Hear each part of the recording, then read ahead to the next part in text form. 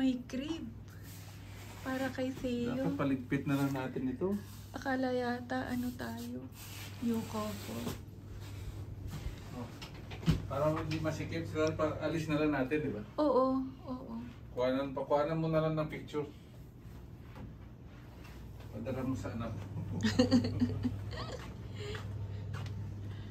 Afternoon sun lang yung view.